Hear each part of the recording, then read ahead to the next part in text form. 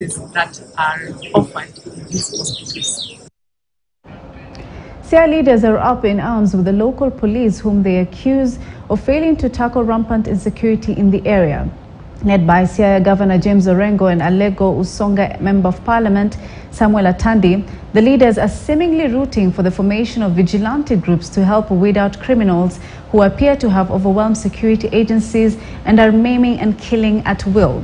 Now, speaking at Hono Trading Center in North Alego location, where they attended a funds drive to, uh, to aid families that lost their kinmen to armed robbers recently.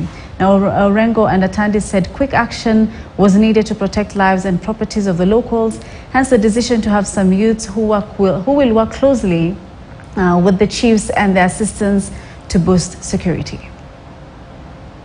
The cases of insecurity are rampant General in Siaya, I must say that, but more particularly in North Alego.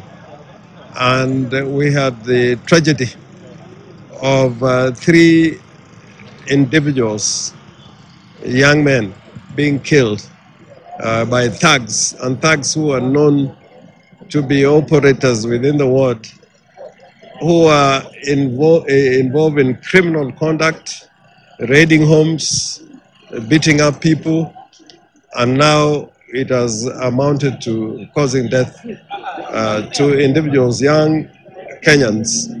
And uh, despite complaints which have been made, and the police coming here, the police commander and the county commissioner, there has been no improvement in, security. Despite promises by the police force to intensify security, uh, security patrols in, our, in this sub-county, very little improvement has been, uh, noticed, uh, has been noticed in the area of improved security.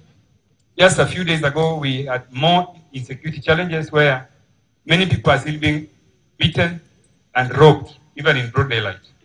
We want to ask the national security organs, the Inspector General of Police and the uh, Cabinet Secretary in charge of security, that you now must come on board and ensure that the people of Alego Usonga experience peace.